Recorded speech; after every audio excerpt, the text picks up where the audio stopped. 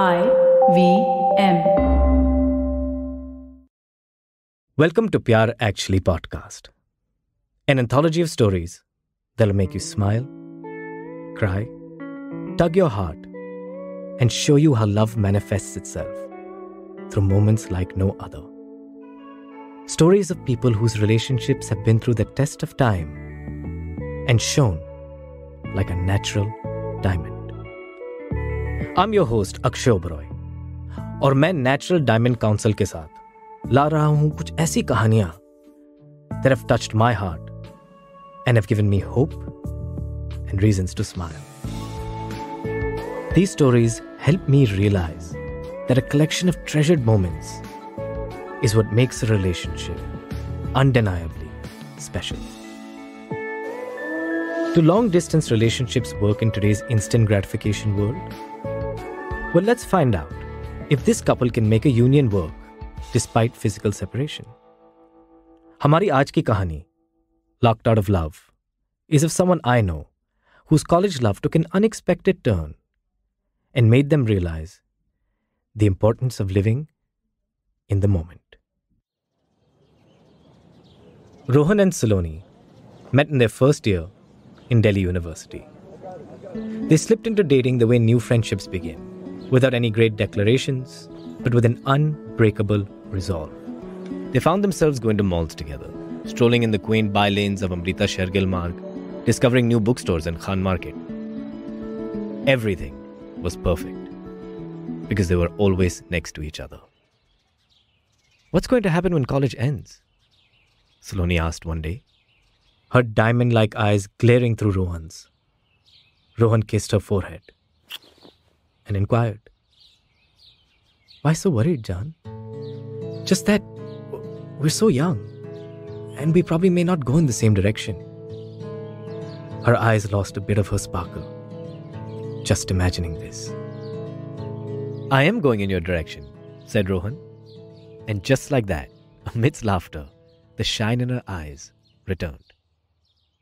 But when they graduated, fate had different plans for them. Rohan moved to Bangalore to work for a lifestyle magazine, while Saloni shifted back to her home city, Mumbai, to work as a journalist.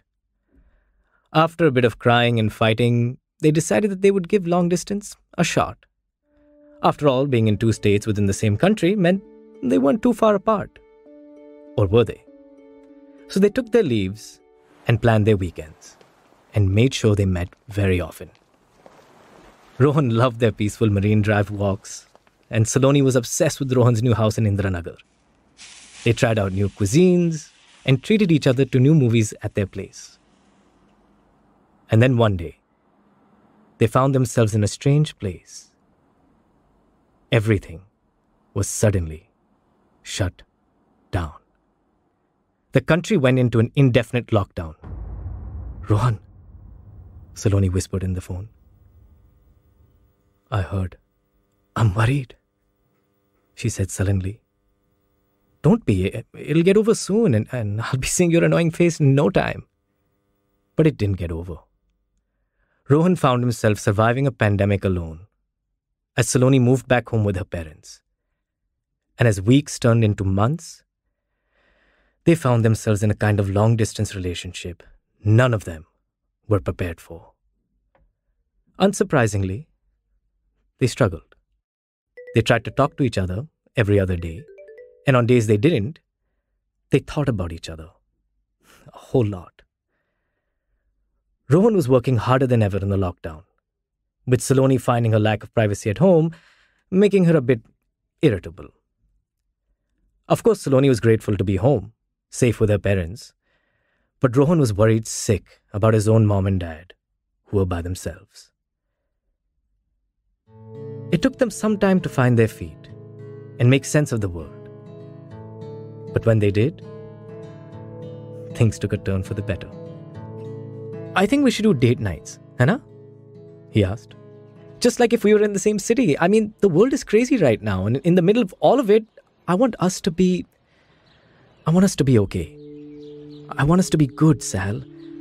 You make me happy, and uh, I don't want to get. I don't want to let go of that. What do you think?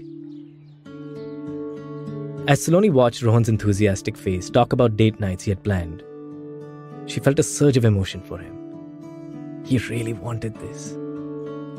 He wanted her. Together, they created special moments that would stay with them forever. The day the lockdown was extended for the fourth time, Rohan got a call from Saloni. She sounded grave and asked him to get on Skype when he was free. Rohan Skyped her back immediately, a billion possibilities zooming through his head. Could she have lost her job? Was she not feeling well? Was she in trouble?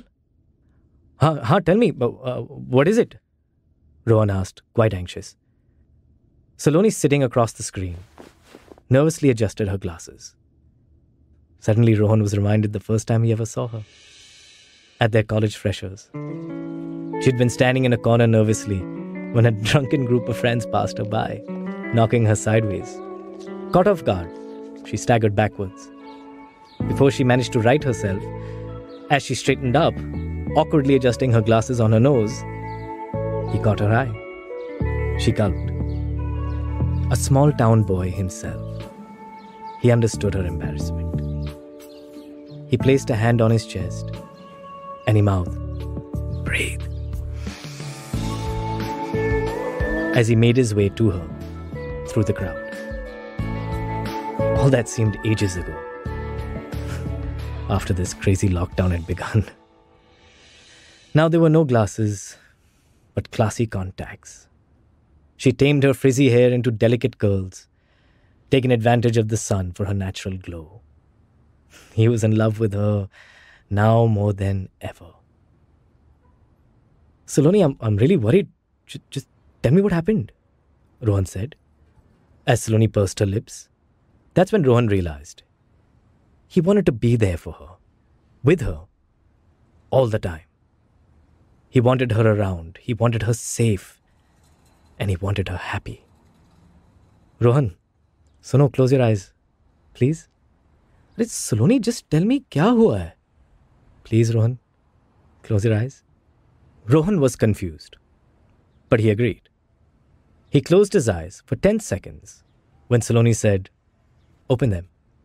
When he did, she was holding up a beautiful, natural diamond ring. It looked so pristine and rare, like it belonged to another time. I know you're supposed to ask first, Jaan, but I've gone a little crazy not being next to you? Rohan continued staring at the diamond ring, his mouth wide open. Look, this current pandemic has made me realize how unpredictable life can get, Saloni said. And how little control we have over it. I mean, it's, it's just one giant roller coaster.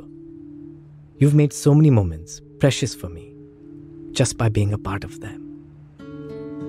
You're the one I want to be sitting next to, holding hands with on this ride. Ideally, I'd wanted to ask you face to face, but life's too short and I, I, can't wait for anything. I miss you and I, I want to never have to miss you like this for the rest of our lives. and this? This is how you're showing me that you miss me? He asked incredulously. Wait, you're not being impulsive because of this whole lockdown situation, are you? She burst out laughing. Excuse me? Here I am telling you I miss you, I love you, I want to be together forever, and that's all you have to pick up from it? Listen, I, I want to spend my whole life with you, all our friends to see it, our parents to see it, which is why Papa handed me his father's ring when I told him about my plan. My grandfather was one in a million, Rohan, a self made man who never let life get in the way of what he wanted, not just for himself but also for his family. On his 50th birthday, my grandmother had made this ring for him. It was a symbol of her love for him and for all he had done for her and their children. He was her rock, just like you are mine. This ring is old, but it means a lot to me and my family, and I want you to have it. This feels right, Rohan. I've always known you're the one for me. I need to know now Am I the one for you? At a loss for words, Rohan gave a barely perceptible nod. Struggling to hold back his emotions, Saloni's face broke into a grin as Rohan's eyes start to well up. He experienced a moment like no other. Saloni watched him process what had just happened, placed a hand on her chest, and mouthed, Breathe. He listened to her, took a deep breath, and then said, Listen, do you want to get married over Skype or something? I mean, I've seen people do it. Saloni rolled her eyes. Hold it there, buddy. One step at a time. He chuckled. You're right. How about this? Let's look online for a diamond ring that's perfect for you. Now, that's a good step to take. I love you. I love you too. You know, when it's a question of true love, Little things like distance and time and logistics don't mean much. Yes, they make the going tough, but they also make every moment together a moment like no other. If you've been moved by this story, then there's something you should do right away. Share this story with someone you love and tell them how much they mean to you. And don't let little things like lockdowns, get in the way of your love. Tell us that moment when you realized you couldn't live without that person. Until then, this is Akshay Oberoi, signing off. We'll be back with another episode of Pyaar Actually next week. For more inspiration, insight, and information on natural diamonds, log on to www.naturaldiamonds.com. Catch the new episodes of Pyaar Actually podcast on the IVM Podcasts app, website, or wherever else you get your podcasts from.